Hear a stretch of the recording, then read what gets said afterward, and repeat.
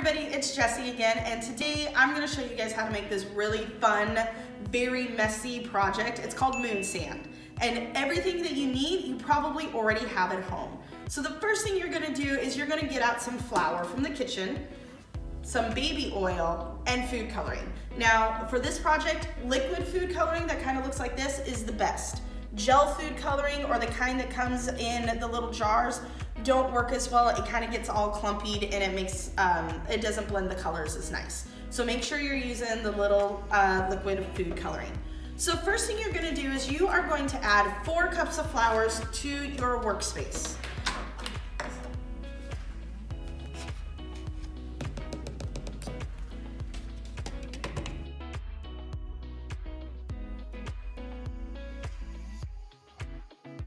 Four. So this is gonna make a lot of moon sand, which is great. And afterwards, when you're done playing with it, you can actually put it in a Ziploc bag and save it for later. Your next step is you're gonna take your baby oil and you need a half a cup of baby oil. This is gonna make your sand sticky. Just like that.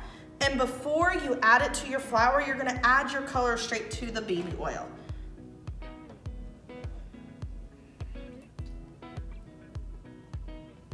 Just add a couple drops. You can stick your finger in, kind of mix it up just a little bit. The more you play with it, the more the color will add to your, to your dough.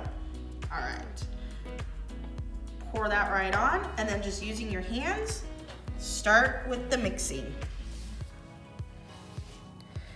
And as you can tell, it's gonna get messy, but that's part of the fun.